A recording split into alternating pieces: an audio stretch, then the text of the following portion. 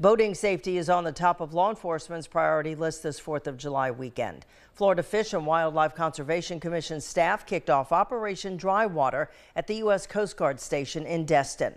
As News 13's Kimber Collins tells us, the operation will target those operating a boat under the influence.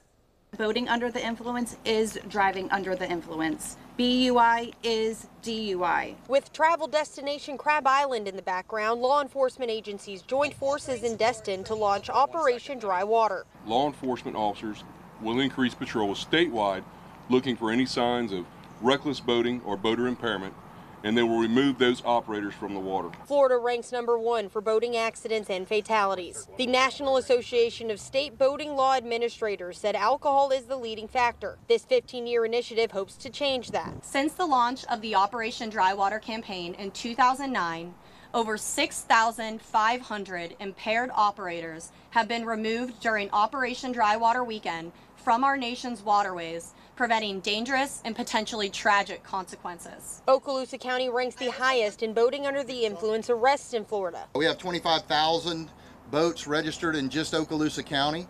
Uh, not to mention the, the bordering counties that come here to visit. Any given day, there could be up to 10,000 boats out here in an excess of 50,000 people. Sheriff Eric Aden said the numbers are getting better year over year for BUIs and boating accidents, and that is due in part to livery vessels stepping up their game to make sure operators stay safe.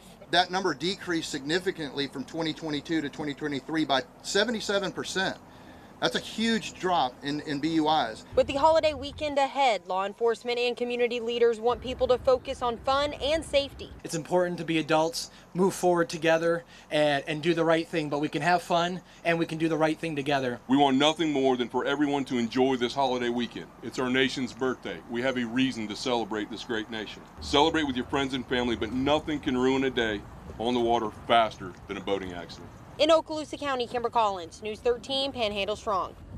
Operation Dry Water runs nationwide through Saturday, July 6th. Law enforcement agencies from Mobile to Panama City Beach are participating.